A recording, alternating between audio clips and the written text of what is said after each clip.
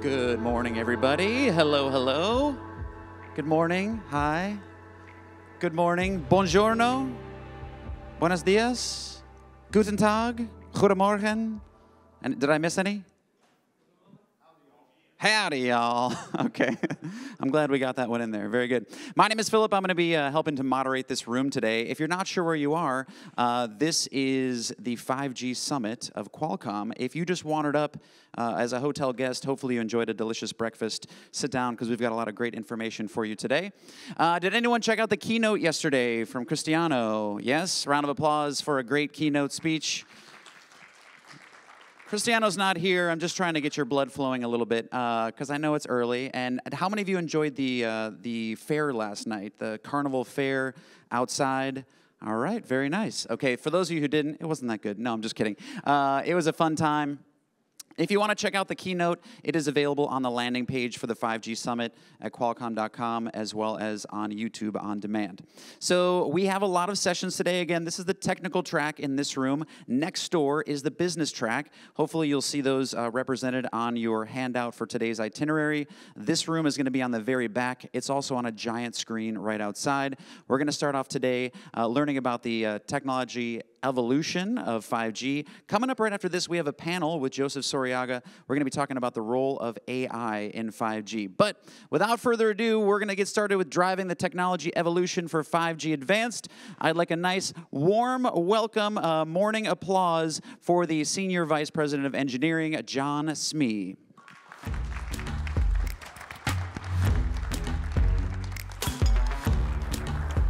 All right, well, thank you very much for that amazing uh, welcome. And then obviously, uh, it was really fun to see Cristiano's keynote yesterday. And you really saw where 5G is today and how it's expanding given the role of the connected intelligent edge. So it's my pleasure to talk to you about how are we taking 5G forward with 5G advanced, in some sense beginning that next era, the second half of 5G, taking us all the way through the end of 2020s into the 2030 timeframe. So if we look at 5G, what's always interesting is to understand then what does it mean in terms of the whole role of the network, the whole role of the cloud, the whole role of the device. So what I'm going to be talking then about is the role of the connected intelligent edge and how does that tie to the evolution of 5G. So at Qualcomm, we've been leading 5G for many years. And the point is, where does it go next? And then one of the interesting things about a technology like 5G is it's about the intersection of things like communications and compute. The fact that really it's about that merged. So what is the role then of these connected devices that have artificial intelligence, that have machine learning, and that are having so many more powerful sensors built into them? So it's that value of connectivity moving into new applications. And so this perspective then with 5G is how does it all fit together? So we talk then about the role of the edge, the role of the cloud. So we all understand that there's a lot of data being processed in the cloud. The interesting thing though is how far away is the cloud? So you can measure that in kilometers or miles. Where Qualcomm, we measure that in milliseconds. Because the reality is we're moving toward a more instantaneous world. The value that's being created at the edge of the network, it requires low latency communication. It also requires new ways of doing compute. It requires new value that's being created at the edge of the network, on device. So whether it's a smart hospital, a smart factory, a smart school, the fact is that that role of 5G at the edge of the network combined with AI is how we achieve scale.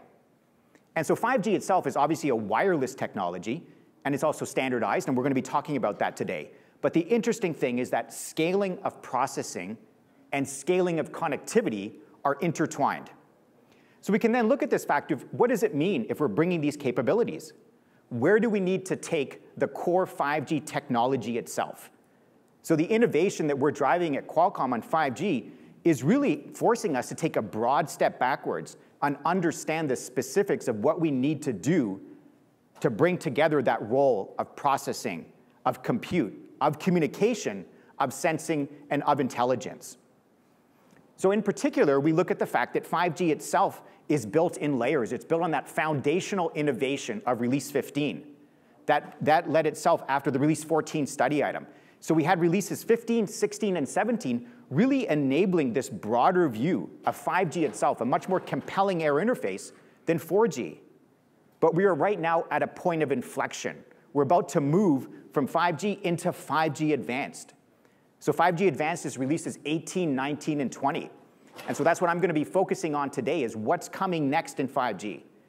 And this is really setting the path towards 6G because we know we're going to need a new overall platform in 2030, even more capable, making sure that we can take communications, connectivity, and compute from 2030 into 2040.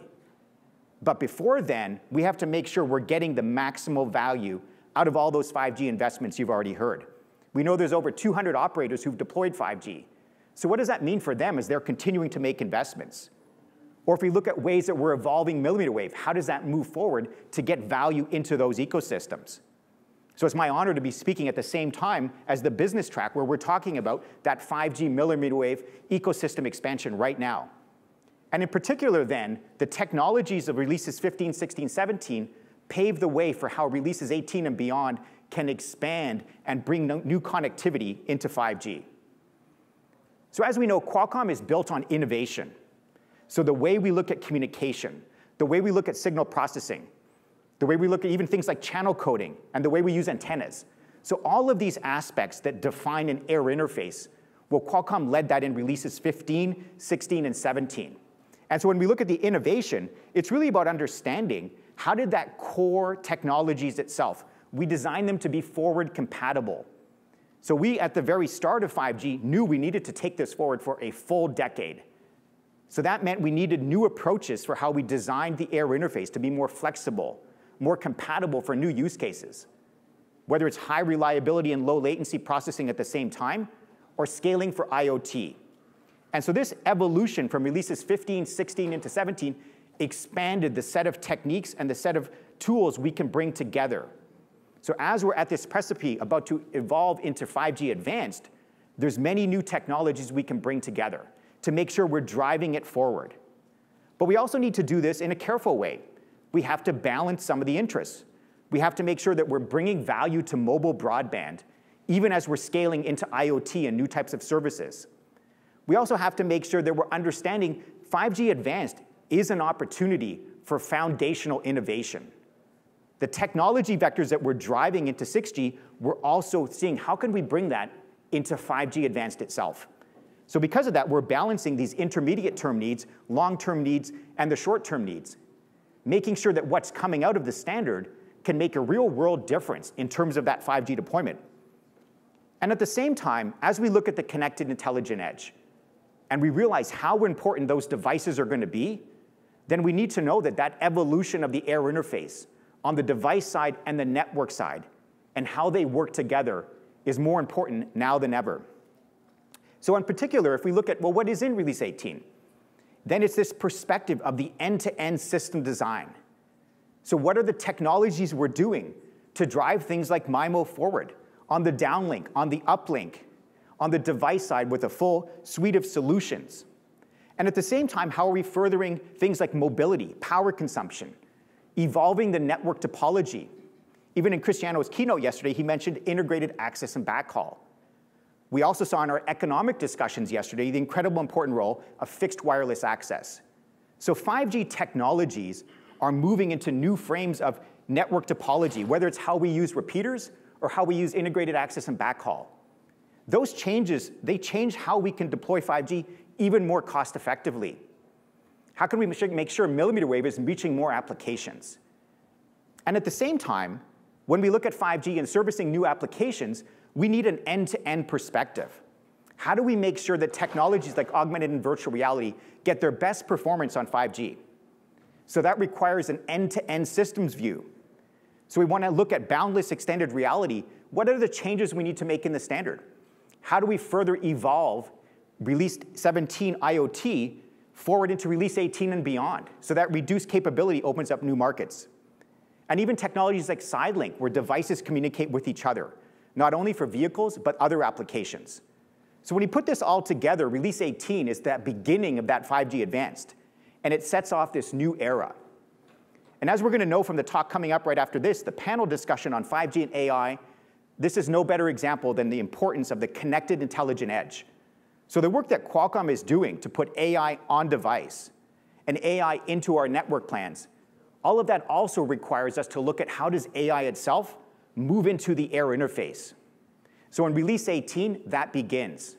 On the radio access network side, study items for how are we going to bring AI into that 5G ecosystem to have even more efficiencies. This is also a fundamental technology moving into 6G. 6G will be cloud native. It will also be AI native. That begins with 5G advanced. So Qualcomm is leading that charge, a huge amount, huge amount of R&D from Qualcomm over many years, answering the specific question of how do we innovate the air interface for artificial intelligence? What are even the frameworks, not only on the neural network side, but the model exchange side, cross-node machine learning between the device and the network? How do they partner with the air interface to bring value, to bring new efficiencies, to further that expansion of 5G into the connected intelligent edge. And if we look at the role of augmented virtual reality, you might know about Qualcomm's $100 million Snapdragon Metaverse Fund. So that's our commitment to looking at that intersection of connectivity and new applications. So the evolution of the smartphone, and even having the smartphone communicate with an AR VR headset, that is just the beginning. In Release 18, we're also looking at new techniques to improve the capacity of XR over 5G. So this is an example of Qualcomm's deep technology expertise, our pragmatic understanding of where we need to go next. What do we need to standardize? What do we need to implement in our products? Where do we need to expand the ecosystem itself to bring that value? So you can imagine whether it's a doctor or a nurse or a physician's assistant, all working 10 years from now or five years from now in a connected world where the value of that instantaneous communication is leveraging 5G, AI, and XR. So at Qualcomm, we're leading this expansion of 5G into how we better support augmented virtual reality, building on the fact that we already today have a huge evolving set of platforms to enable this ecosystem. At the same time, IoT itself, we can look at it in many different lenses. Some of you might remember the early days of 5G was defined based on a triangle mobile broadband, massive IoT, critical IoT. With that critical IoT, the high reliability, low latency communication, well, that began in release 16 with the role of even evolving into things like time-sensitive networking. But at the same time, as we look to release 17 and 18, we're also bringing forward the expansion into wide area IoT. Release 17 delivered reduced capability IoT, RedCap, what we call NR Lite, and at the same time, we can further scale down as we move forward into releases 18 and beyond. So there's a huge amount of work to make sure we get the power consumption right, the mobility right, the scenarios, the days of use, making sure that 5G, those investments that are being made into these networks today and tomorrow, that they're serving so many more devices. So the value of that 5G expansion into IoT is core to the connected intelligent edge because there's going to be so many more devices, whether it's a smart camera, whether it's a wearable, whether it's a medical device. Think of the amount of information that can get exchanged. Well, that is leveraging the fact that 5G is moving not only through mobile broadband, tens of gigabits per second, not only into factories with critical industrial IoT applications, but then also taking 5G forward into wide area IoT, low power devices that are also long range. So whether that's for agriculture, whether it's for smart cities, whether it's better connecting so many different industries. Another fundamental underpinning technology is the fact that 5G is moving beyond communications. Absolutely, we're going to continue to evolve 5G for the core technologies of data rate, mobility, latency, reliability. At the same time, technologies like positioning and location are foundational for the value creation in 5G. So whether it's an AGV in a factory floor, whether it's an autonomous vehicle, whether it's a, a piece of farming equipment, the desire to know location accurately, leveraging the fact that 5G is wider bandwidth. It's also higher band. It's more directional. We have new techniques based on machine learning and end-to-end -end processing improvements.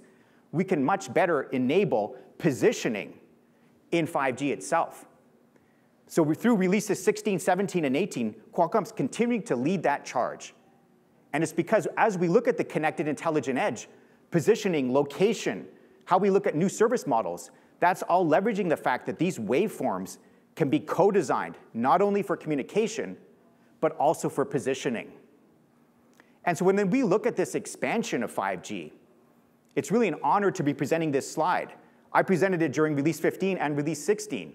And the fact that we're moving into 17 and 18, there's so many more applications and devices enabled by 5G. So many more features enabled by this rich ecosystem. So there's a reason we talk about the expanded addressable market for Qualcomm. It's because of the fact that 5G is touching so many industries, so many applications, so much value creation at the edge of the network. And it's because of this expansion, even in 3GPP itself, to efficiently serve these new applications. So we're working on every one of these boxes on this slide because we understand how it fits together. What are the things we need to move forward?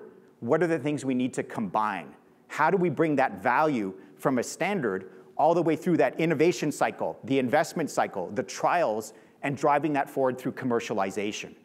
So that 5G advanced evolution is core to realizing that full vision of 5G. And so when we look longer term, the question is, where does this all go?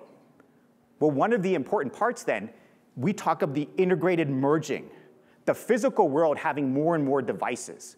So even today, devices are being connected. What's the value of a device that's digital that's not connected? The reality, those devices are going to be connected, and no one's going to be plugging them into Ethernet. So the fact that there's more physical devices getting connected, and at the same time, those devices are exchanging data. It's not just about watching flat screens. It's the fact that that data that's being generated within the devices themselves is being exchanged. And it's being exchanged at the edge of the network. Absolutely, these devices are cloud connected, but they're also connected to each other. So that value of that merging of that digital world, the digital twin of the physical world, how can we better optimize systems? Whether it's a factory, a hospital, a school, or even how we look at networks across private networks and public networks, that digitization and that exchange of data is core to this long-term vision.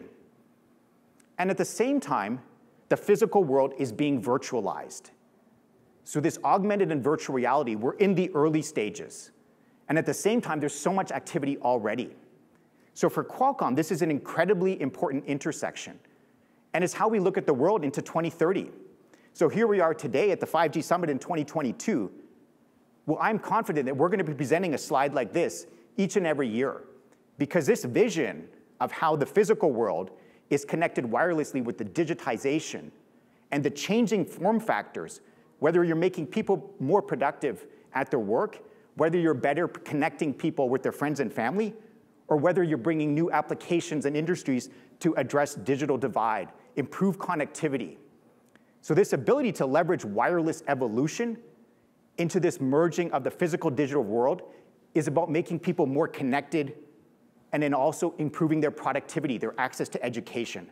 So it's so important that we use these three vectors here to understand how does it all fit together.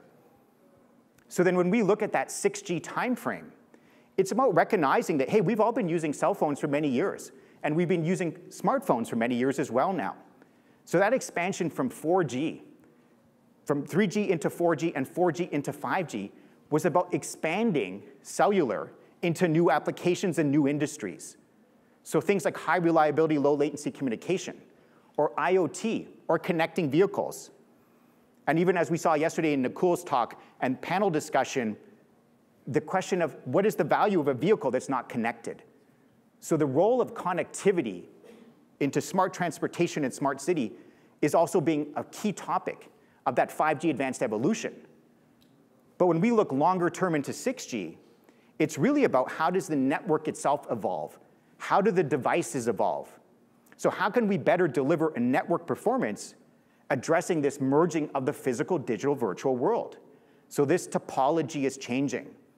So the important work we're doing right now to leverage the expansion of cellular networks we're taking this forward into new compute paradigms. How do we distribute compute in the 2030 era? Well, how are we designing then 6G for this future of cloud computing, where the role of the edge cloud is moving to even more instantaneous applications? So the fact that these devices are a source of data, these devices have artificial intelligence and machine learning built in. So it will be cloud native, and it will also be designed for this end-to-end connectivity, bringing new value. So for Qualcomm, as we look at this evolution from 4G to 5G to 6G, it's about designing a network and sets of devices for these diverse use cases, and recognizing that fundamentally, technologies like 5G evolution and 6G are about really connected compute and distributed compute, and how we move compute around to address a much wider number of scenarios. So then we take a look back and say, well, what are some of the key 6G design vectors? It's this fact that we're combining both revolutionary techniques and evolutionary techniques. So we're absolutely trying to fuel these next generation use cases, the future of augmented virtual reality, but at the same time, making sure we're bringing those core advancements. So whether it's in silicon processing, whether it's integrated design from antenna through RF all the way to baseband to deliver efficient power consumption, serving new use cases. So how are we looking at the role of AI and ML in a 6G network design and at the same time in 5G advanced? So the interesting thing is all of this technology we're looking at for 5G advanced, we're also looking at, well, how do we put it together in a new air interface targeting 2030 with 6G? And so our technology evolution, our technology investments at Qualcomm, driving into this connected intelligent edge is feeding both 5G advanced and longer term 6G. And it's because our technology vision and our understanding of how it needs to fit together, we're going to assemble things a little bit differently in 5G advanced than we will in 6G. But at the same time, we're always looking to intersect the technology evolutions that are occurring in adjacent industries. So the evolving roles of public networks and private networks, how do those fit together with new applications into that 6G era? And so our designs are looking end to end, and they're trying to understand the best way of putting things together. And one of the easiest ways to talk about this is to understand the vectors we are pushing forward. So these foundational vectors of 6G innovation and 5G advanced evolution. Things like machine learning, spectrum expansion. With 5G, it was so successful to expand not only for sub 6 and sub 7 gigahertz, but into millimeter wave and in taking this forward longer term into 6G with even new bands. So the reality is these ability to leverage spectrum is core to wireless. So it's the reason Qualcomm looks at the end-to-end -end system, from antenna to baseband, from network to device, from cloud computing to edge cloud. So what are these scalable network architectures?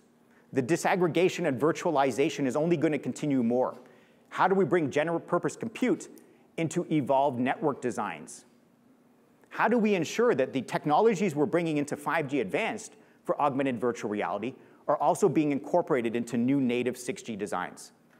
So these core technology evolution, whether it's on security, whether it's on reliability, whether it's how we look end-to-end -end at applications, that is core to how we're advancing 5G evolution and 6G itself.